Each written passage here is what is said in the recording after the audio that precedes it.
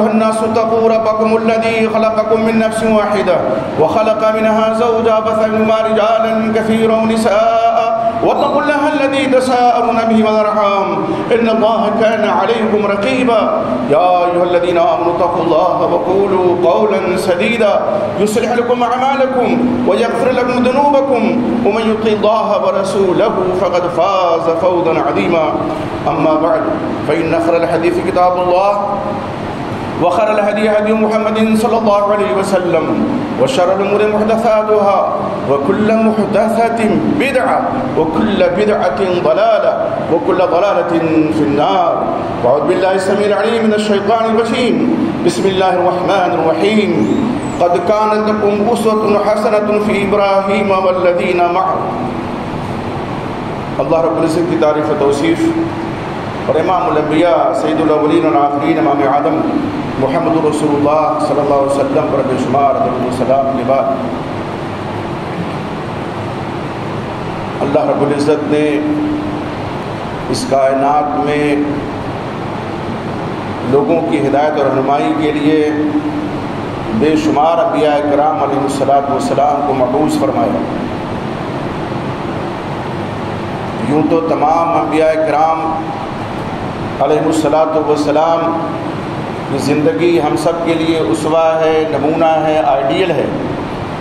लेकिन खसूसियत के साथ अल्लाह रब्बुल ने अम्बिया कराम में दो हस्तियों के उसवा को अपनाने की तलकीन फरमाई है।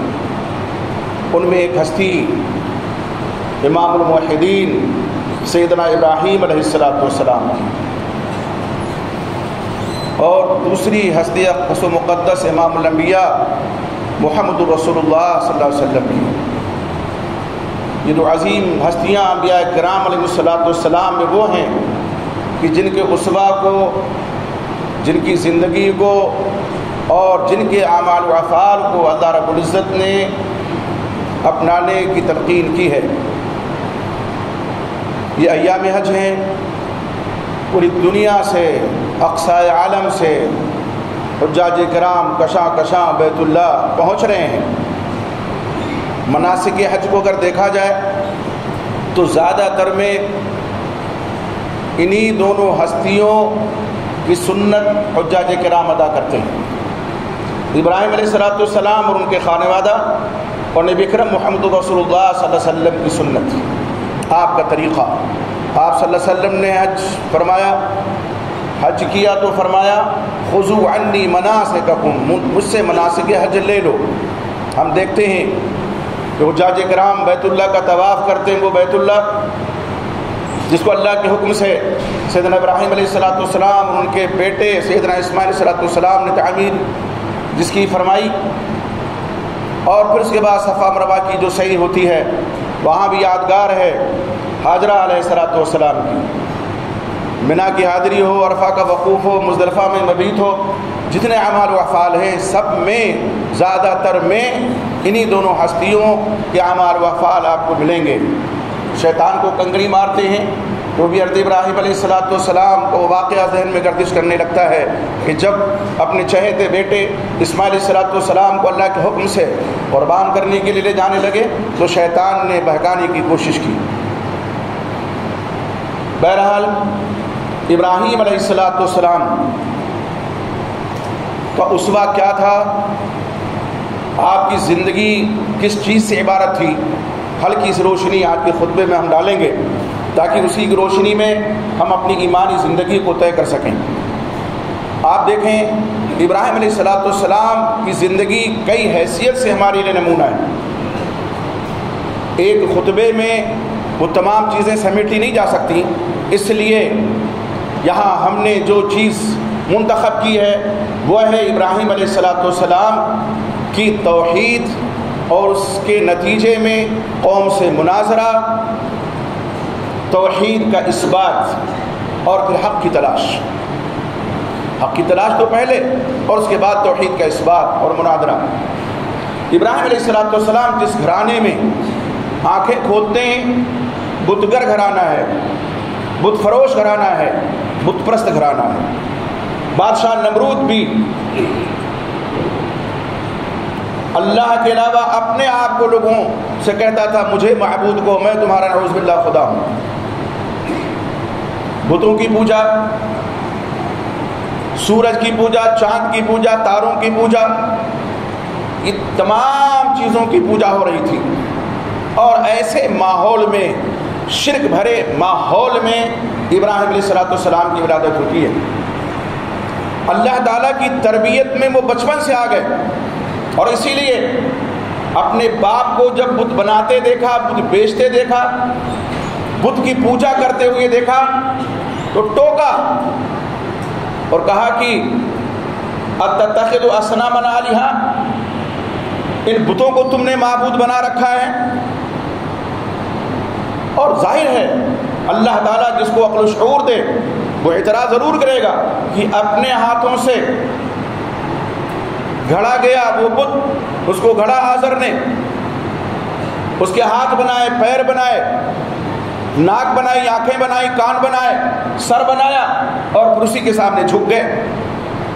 यानी ज़रा, जर, ज़रा भी अकल अगर कोई इस्तेमाल करे तो जिसको बनाया उसके सामने और उससे हाजत रवाई, ये अक्ल से परे भी बात है। अक्ल भी इसका इनकार करती है जाए की शरीय हरत इब्राहिम सलाम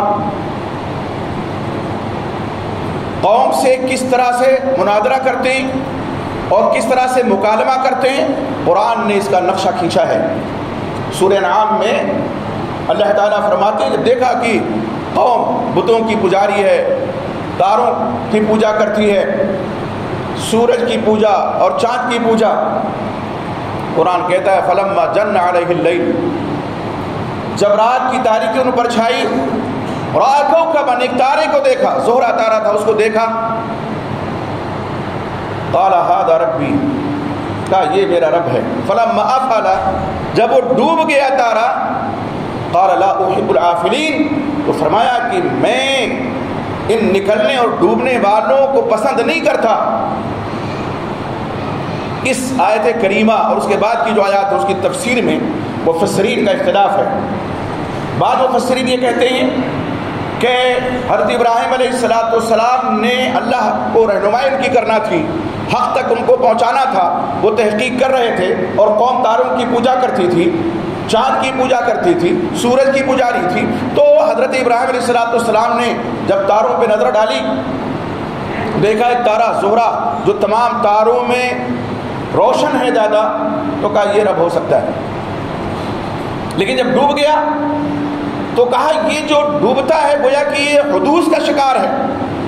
ये मिटने वाला है, इसकी रोशनी ख़त्म होने वाली है।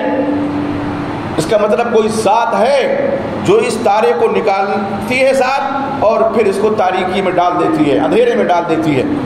और वो ज़ात अल्लाह की ज़ात है। दूसरी तफसीर और जो राज तफसीर जिसको आप कह सकते हैं, इमाम कसीर रहमतुल्लाह ने इसको राज करार दिया है। अजौल बयान में अल्लाह मशरक़ रहमतुल्लाह ने इसके ज़िक्र किया। और इसी तरह से तफसर मैसर है, और भी दीगर तफसर किताबें हैं तफसर कुर्तुबी वगैरह है। उसमें क्या है? कि हज़रत इब्राहिम सलाम तोहहीद को साबित करना चाहते हैं कौम के सामने। तोहहीद का इस बात करना चाहते हैं। और ज़ाहिर है कि जब आप किसी से मुकालमा करेंगे, बात करेंगे, मुनादरा करेंगे तो एक वक्त वो आता है कि अगर वो कटुजती करता है, नहीं मानता है तो जो वो अमल करता है उसी में दलील तलाश करके और उसको फिर क्या है? हसीमत खुर्दा किया जाए, उसको फिर कायल किया जाए। हरत इब्राहिम सलाम ने जब तारे को देखा क्या इसकी तुम पूजा करते हो? यदि ये रब है, ये रब है। और जब डूब गया तो कहा, ये तो तुम, इनको तुमने, जिसको तुमने रब बना रखा है, ये तो डूब गया। ये तो डूब गया। ये रब कैसे हो सकता है? मैं डूबने वाले को पसंद नहीं करता। तो गोया कि एक दलील कायम की इब्राहिम सलाम ने कि ये तो मिटने वाला है, हदूस का शिकार है। और जो महल्ले हदूस हो, जो मिटने वाला हो, आए, फिर ख़त्म हो जाए, वो रब नहीं हो सकता। कोई सवाल ही नहीं कि वो खालिक हो। खालिक और रब वो है जिसने इसको रोशनी अदा की है, जिसने बाद में इसको तारीकी में ढकेल दिया है। दिबो दिया, वही रब है। तो ये हुज्जत कायम करने के लिए फरमाया हादर रब चलो मान लेते हैं के लिए। इसको कहते हैं इस्तदराज खसम। यानी जो मुकाबिल का आदमी है, मद्द मुकाबिल, इल्ज़ामी जवाब उसको दिया जाए। उसको ढील दी जाए कि बरफर्ज मुहाल, हम मान लेते हैं कि ये जोहरा जिसकी तुम पूजा करते हो, ये रब है तो ये तो डूब गया। ये तो खत्म हो गया। तो ये खुद खत्म हो गया। इसकी रोशनी अपनी नहीं हुई दी आ, नहीं है ली हुई। खुद इसने अपने अंदर रोशनी नहीं कायम की और ये डूब गया। इसका मतलब कोई खालिफ है। फिर उसके बाद फलम मारा अलकमरा बाजन जब सूरज को देखा ये चाँद को देखा फरमा अलकमरा बाजन जब चाँद को देखा रोशन चमकता हुआ कहा ये मेरा रब है? यहाँ भी ये दो तस्वीरें हैं। ये मेरा रब है। और जब वो भी डूब गया फलम अफला तो फरमाया, कि अगर मेरे रब ने मेरी हिदायत ना की, या मेरी रब मेरी, मुझे हिदायत ना दे तो मैं गुमराहों में से हो जाऊँगा। लम रब्बी मैं गुमराहों में से हो जाऊँगा। यहाँ भी हुज्जत कायम कर रहे हैं। यहाँ भी दलील दे रहे हैं। कि ये चाँ जो अपनी आबताब के साथ निकला और जब ये निकला तो बहुत से तारों की रोशनी मध्यम हो गई। इसकी तुम पूजा इसलिए करते हो कि रोशन है, तारों से ज़्यादा, और ये रोशनी बिखेरता है। रात की तारीख को चीरता है, कुछ रोशनी इससे हासिल होती है लोगों को। तो ये तो डूब गया। फरमा, मेरे रब ने अगर मुझे हिदायत नहीं दी तो मैं गुमराहों में से हो जाऊँगा। यानी अगर रब की हिदायत ना मिले, और लोग इसको पूछते रहे, गुमराह हो जाएँगे, गुमराही का शिकार हो जाएँगे। और फिर आगे देखिए, जब सूरज को देखा, चूँकि कौम सूरज की भी पुजारी थी फलम मारा कल, हादा रबी अकबर। जब सूरज को चमकता, दमकता देखा तो फरमाया, ये मेरा रब है, ये सबसे बड़ा है। फलम अफलत जब वो भी डूब गया फरमाया कि कौम के लोगों को खिताब करते हुए कि मैं उन तमाम चीज़ों से बड़ी ज़िम्मा हूँ जिनको तुम अल्लाह के अलावा शरीक ठहराते हो शिरक करते हो मैं शिरक से बेजार हूँ शिरक से बरी हूँ कुरान मजीद की जो आयत करीमा मैंने खुद मसनवाना के बाद पढ़ी थी उसमें अल्लाह ताला यही फरमाते तद कान तकुम उसवतुन हसनतुन फ़ी इब्राहीम वल्लदीना माहू इद इन्ना बुराउम मिनकुम उम्मा तअबुदून तुम्हारे लिए इब्राहिम अलैहिस्सलाम और उनकी ज़िंदगी में जो उनके साथ हैं बेहतरीन नमूना है जबकि उन लोगों ने अपनी कौम से कहा कि मेरी कौम के लोगों इन्ना बुरा बेशक हम तुमसे बेजार हैं। और उनसे भी बेदार हैं, जिनको अल्लाह के को छोड़ करके तुम पूजते हो, जिनकी इबादत करते हो, जिनकी पूजा करते हो। तो हज़रत इब्राहिम सलाम ने तोहद को कायम करने के लिए उनकी कौम कर रही थी, उसी को दलील बनाया कि तुम तारों को पूछते हो, या तारा जोहरा को पूछते हो, ये डूबने वाला है। चाँद को पूछते हो, ये भी तारीकी में चला गया। सूरज को पूछते हो, रात आई तो ये भी जुल्मत का शिकार हो गया और डूब गया। तो ये निकलने वाले, ये डूबने वाले जो अपने आप को नहीं बचा सकते डूबने से, जो अपने आप को नहीं बचा सकते कि उनकी रोशनी न छीनी जाए ये तुम्हारी क्या बिगड़ी बनाएँगे? ये तुम्हें कब नफ़ा पहुँचा सकते हैं? ये तुम्हें कैसे नुकसान पहुँचा सकते हैं? जो अपने नफ़ा, अपने नुकसान के खुद मालिक नहीं है, वो तुम्हें कैसे नफ़ा और नुकसान पहुँचा सकते हैं? ये थे हज़रत इब्राहिम सलाम सैदना इब्राहिम सलाम के अल्लाह रब्ज़त ने जिनको ईमान और ईकान और तोहद की दौलत अदा फरमाई थी। अल्लाह ताला इसी सूर अनाम में आयत नंबर पचहत्तर में क्या फरमाते हैं? वो कदाल का नूरी इब्राहिम मलकूत समावात और इसी तरह से हमने इब्राहिम सलाम को ज़मीन, आसमान की मखलूक़ को दिखाया। क्यों? ताकि वो यकीन करने वालों में हो जाएँ कि आसमान, ये ज़मीन और कायनात की सारी चीज़ें इनका खालिक, इनका मालिक, इनका रब सिर्फ़ और सिर्फ़ अल्लाह है। उस अल्लाह के अलावा न कोई खालिक है, न कोई मालिक है, न कोई राजिक है। और जो खालिक हो, जो मालिक हो, जो राजिक हो, इबादत के लायक भी वही होता है।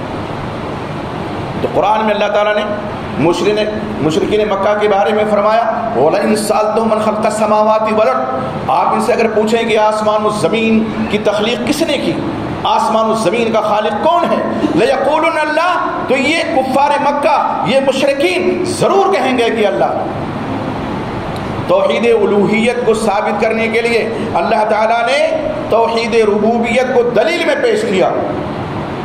खालिक राजिक मानना, रब मानना, पालनहार मानना, अल्लाह और सिर्फ़ अल्लाह को यही तोहद रबूबियत है।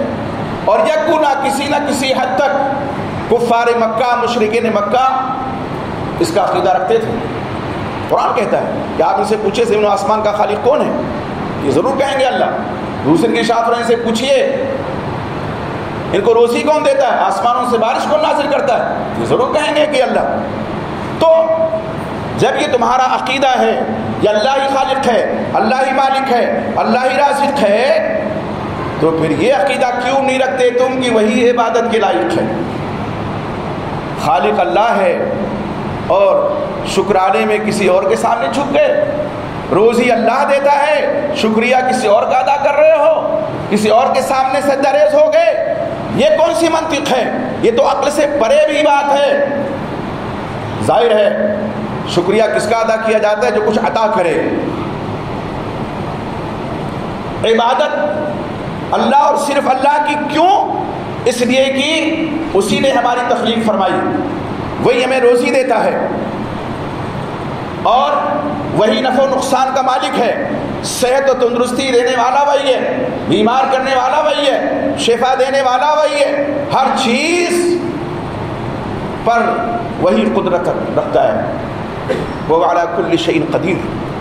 तो जो ज़ात हर चीज़ में ताकत रखती हो, कुदरत रखती हो वही ज़ात इस बात की लायक है कि सिर्फ़ और सिर्फ़ उसी की इबादत की जाए। तो जब ये अयाम आते हैं इमामुद्दीन जो तो हमेशा भी याद उसे किया जाता है जिसको हम भूल जाएँ। ये दो अजीम हस्तियाँ वो हैं इमामबिया और इमामुद्दीन कि हम जब दरुद इब्राहिमी पढ़ते हैं तो इन्हीं दोनों का ज़िक्र जमील है। नाम ही उसका दरुद इब्राहिमी है। हम हर इब्राहिम सलाम पे दरूद भेजते इमाम इमामबिया मोहम्मद रसोल्ला पर दरूद भेजते हैं। आप देखें कि रहती दुनिया तक के इंसानों के लिए अल्लाह रब्ज़त ने मोहम्मद रसूलुल्लाह को नबी और रसूल बना करके भेजा।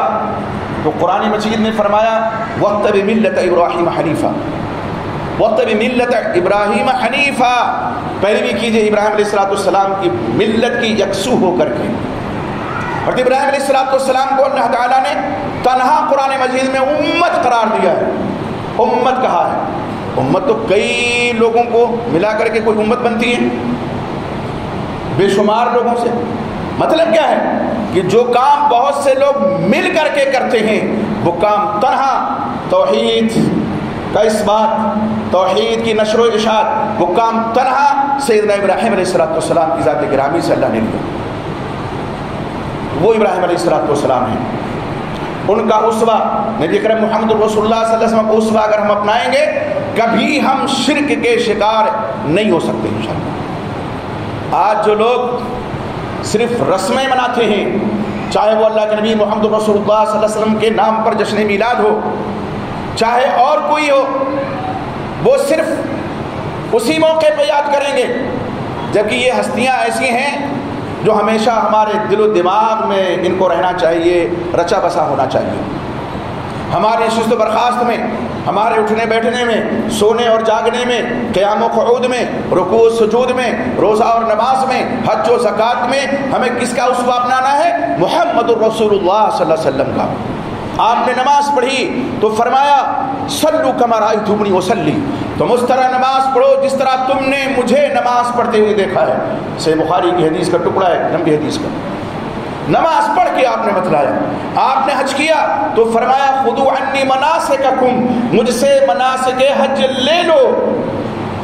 और जहाँ तक ज़क़़त का मसला है तो आप इतनी रकम रोकते नहीं थे, इतना मबलग होता ही नहीं था कि निसाब को पहुँचे और उस पर साल गुजरे और फिर ज़क़़त फ़र्द हो, फिर ज़क़़त अदा करें। लेकिन अल्लाह के नबी मोहम्मद वसल्लम ने ज़क़़त के अहकाम मसाइल बताए।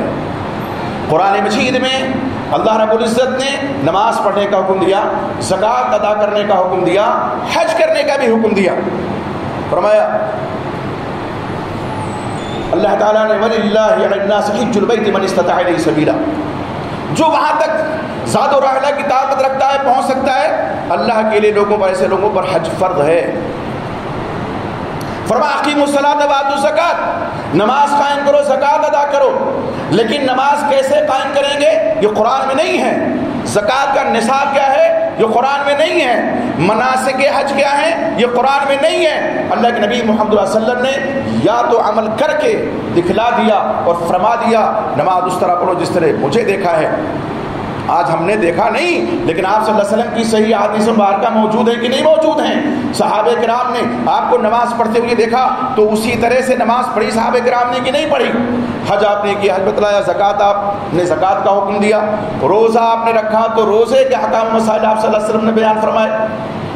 गरजे की, इस्लामी तालीमत हमारे सामने इंतहाई रोशन, इंतहाई वादे हैं और खसूसियत के साथ तोहद।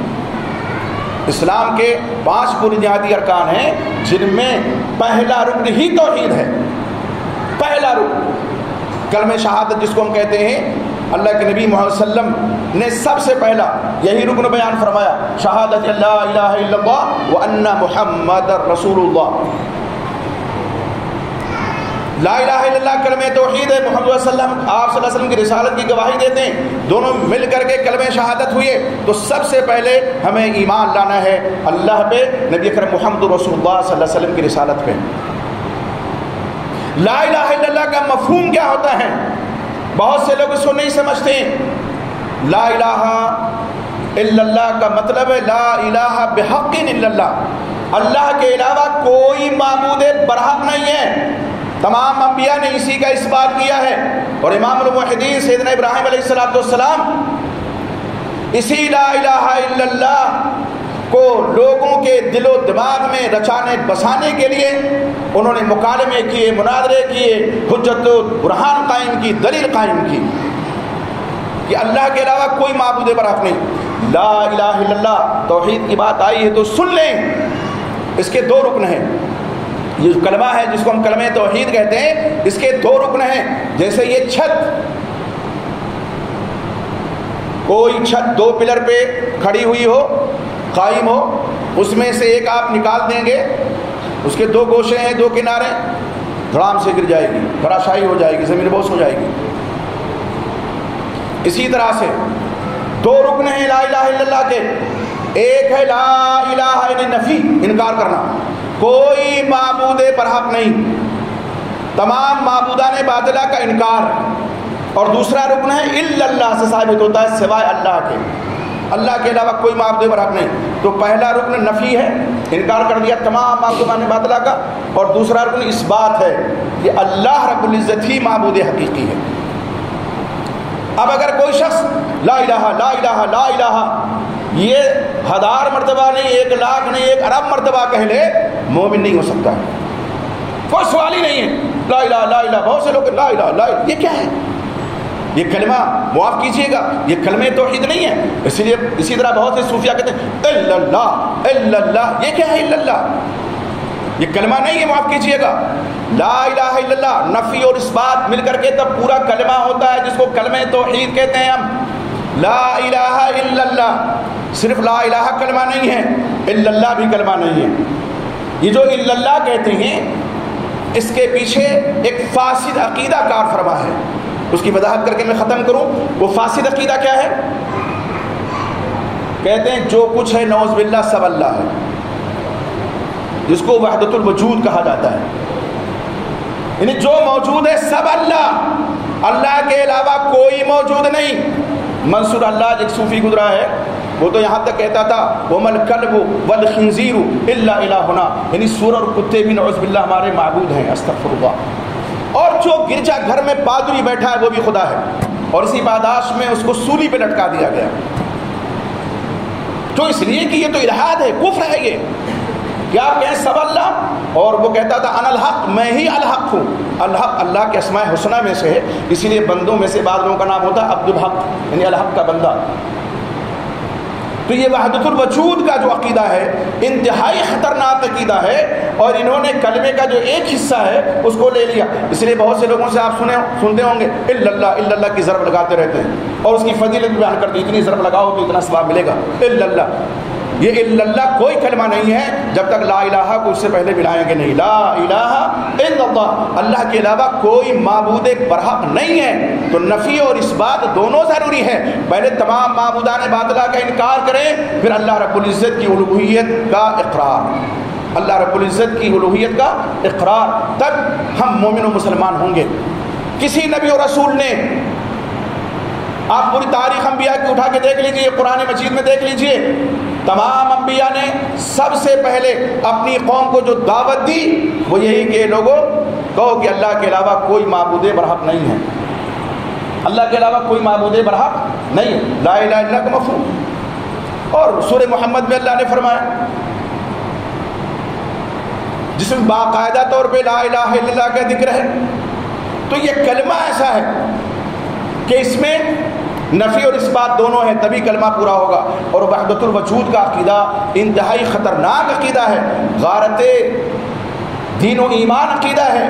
तोहद का जनासा निकल जाता है अगर कोई शख्स कहे कि हम अल्लाह, तुम अल्लाह, ये अल्लाह, वो अल्लाह।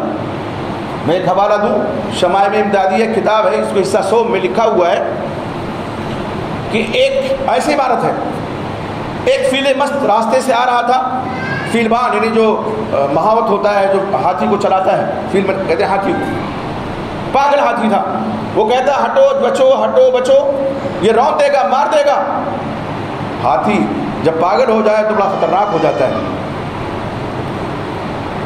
एक गुरु का चेला था, वो तोहीद वजूदी में मुस्तरक था। तोहीद वजूदी का मतलब क्या? वजूद, जो है सब अल्लाह ही अल्लाह है।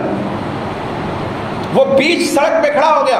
अब लोग उसकी कमर पड़ करके खींच रहे हैं कि भाई तो हाथी पागल है, दूर से आ रहा है, अभी रोक देगा तो ये मार देगा। तो उस चेले ने कहा, इससे क्या डरना? हाथी की जान इशारा कर इससे क्या डरना? जो वो है, मैं वो हूँ, और जो मैं हूँ, वो वो है। खुदा का खुदा से क्या डरना? नौबिल्ला खुदा का, यानी अपने आप को खुदा कहा, और उसको भी कहा। खुदा का खुदा से क्या डरना? दरअसल यही वहदतुलवजूद का फासिद अकीदा है, जो ये बतलाने के लिए काफ़ी है कि ऐसे लोग ईमान से हाथ धो बैठते हैं जो कहते हैं हर चीज़ नोजबिल्ला अल्लाह है।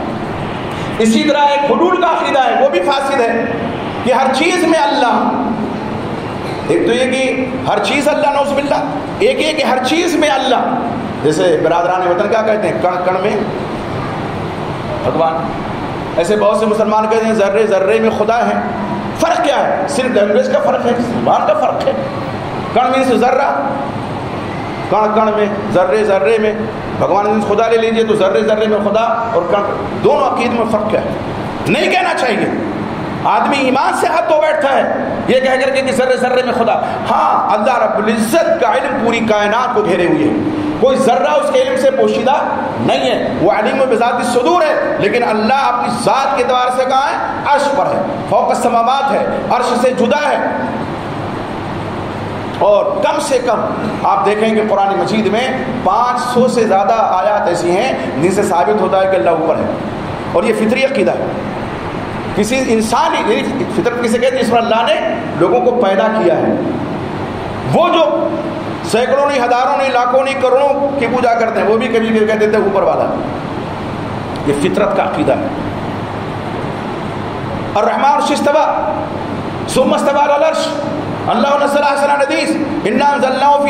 इस कबीर की जितनी आयतें हैं, सब इस बात के लिए दलील हैं कि अल्लाह ऊपर है। हाँ उसका इल्म पूरी कायनात को घेरे हुए है। इसलिए मेरे भाई इमाम का जब ज़िक्र जमील आए तो तोहीद का सबक ताज़ा कर लेने की ज़रूरत है। ये तोहीद का सबक जो बहुत से मुसलमान मुसलमान होते हुए भी भूल चुके हैं। इमाम मुहिदीन का जब ज़िक्र जमील आए तो देखें, उन्होंने दुश्मनी ली अपने बाप से। बाबा जुर्नी मलिया भाग जाओ यहाँ से, निकलो घर से। कौम से दुश्मनी ली। इन अगले जुमा में रहे तो बताएँगे कि किस तरह से उन्होंने दुश्मनी मोल ली तोहहीद की पादाश में। ये तोहहीद है जो लोगों को दुश्मन बना देती है। आप अल्लाह के करीब आएँगे तो लोग ज़रूर दूर भागेंगे आपसे। ये कभी एक लम्हे के हज़ार में हिस्से में ना सोचिएगा कि आप मुहिद हो चुके हैं और आपके बाप नाराज़ हैं, आपकी वालदा मुहतरमा नाराज़ हैं, आपकी बेगम भी नाराज़ हैं। तो इसका मतलब आप सोचने पे मजबूर हो जाएँ कि ये लोग तो ज़्यादा हैं, हम तो तनहा हैं घर में तो हम कहीं बातिल पे तो नहीं। नहीं, अगर आप तोहहीद वाले हैं, आप हक वाले हैं, किताब सुन्नत के पैरोकार हैं तो तनहा अगरचे आप हैं पूरे घर में, आप हक पर हैं। माँ बाप की यहाँ नहीं चलेगी। बाप दादा का दीन नहीं है ये, कि दादा जिस दिन पे चलते थे, उसी दिन पे हम चलेंगे। दादा अगर कब्र की पूजा करते थे तो हम भी कब्र पे झुकेंगे। नहीं, हमारे दादा अगर गुमराह थे, वो अपने अमल का हिसाब देंगे। हमें अपने अमल का हिसाब देना है तो हम क्यों गुमराही का शिकार हो? हरते इब्राहिम का बाप आजर बुतगर बुत परस्त भी था। हरत इब्राहिम ने उसके लिए मफरत की दुआ करनी चाहिए। अल्लाह ने मना फरमा दिया। कि अल्लाह मुझे रुसवा न करना क़यामत के दिन? मालूम है, आजर को उसकी असली शक्ल में नहीं डाला जाएगा जहन्नम में। बिज्जू की शक्ल में। हरत इब्राहिम सलाम से कहा जाएगा कि अपने पैर के तले देखिए, देखेंगे बिज्जू है, खून में लथपथ है और घसीटा गया, उसको जहन्नम में डाल दिया गया। वो कौन होगा? इब्राहिम सलाम का बाप आजर होगा। अल्लाह रब्बुल ने उस इमाम मुहिदीन की लाज ऐसी रखी, बाप मुशरिक है। घर से भी निकाल दिया है। लेकिन माजरा क्या है? कहते हैं कि मेरा बाप मेरे सामने जाएगा, मुझे थोड़ा रसवाई का सामना करना पड़ेगा। अल्लाह ने उसको बिच्छू बना बना देगा अल्लाह बिच्छू उसको और फिर उसके बाद जहन्नम में ढकेल दिया जाएगा। तो ये बाप हो, माँ हो, दादा हो, कोई काम नहीं आएगा। अल्लाह से दुआ है और कीजिए दुआ कि अल्लाह ताला हम सबको तोहहीद पे कायम रखे। इब्राहिम सलाम और सैदना मोहम्मद सल्लल्लाहु अलैहि वसल्लम उसवा पर अमल करने की तोफ़ी अता फरमाए। जब तक इस दुनिया में हयात हैं, ज़िंदा हैं, हम तोहहीद पे कायम रहें, ईमान पे कायम रहें। अल्लाह जब हमारा ख़ात्मा हो तो हम तोहहीद पे मरें, इसकी तोफ़ी अता फरमा। हमारे लबों में अशद वाशद मोहम्मदन अबदहू और रसूल कलम जारी हो। अल्लाह हम तेरा जमाना बंदे हैं, गुनहगार हिस्साकार हैं, लेकिन मेरे बोला तरदे से वाबस्ता हैं। अल्लाह हमारे गुनाहों को माफ़ फरमा, हमारी लबसों को माफ़ फरमा, हमारी ख़ताओं को माफ़ फरमा। अल्लाह हमें बीमार को शफाता फरमा। हमारे भाई जो करदार अल्लाह कोई आसान सी सबीर पैदा फरमा दे, उनका कर दूर हो जाए। अल्लाह हमारे मुसलमान भाई, जो दुनिया के किसी खत्े परेशान हाल है उनकी परेशानी को दूर फरमा। अल्लाह रब्बुल्ज़त हमें जो मोमिन, मर्द, मोमिना, औरतें जिनकी वफात हो चुकी है, अल्लाह उनकी बार बार मफरत फरमा। अल्लाह जितने वालदेन वालदेन जो हयात अल्लाह तोफ़ी अता फरमा, उनकी खिदमत करके तेरे हासिल कर लें। अल्लाह हम जिनके मार दें, या बार से कोई वफात पा चुके हैं। अल्लाह रब्बुल को जन्नत फिरदौस का मकीन बना दे, उनके गुनाहों को बख्श दे। अल्लाह रब्बुल्ज़त हमें अम्बिया कराम सलाम और खसूस मोहम्मद रसूलुल्लाह के नक्श कदम पर चलने की तोफ़ी अता फरमा। अल्लाह रब्बुल्ज़त ये वतन हमारा प्यारा वतन है। इस वतन से हमें फितरी मोहब्बत है। अल्लाह इस वतन में हमें अमरान की ज़िंदगी अदा फरमा। हमारी जान, हमारे माल, हमारी इज़्ज़त आबरू की हिफाजत फरमा। अल्लाह रब्बुल्ज़त हमें दालिमों के दुलमसितम से मामला महफूज फरमा दे। अल्लाह हमें दालिमों के दुलमसितम से मामला महफूज फरमा दे अल्लाहुम्मा इन्ना नजअलुका फ़ी नुहूरिहिम व नऊदु मिन शुरूरिहिम।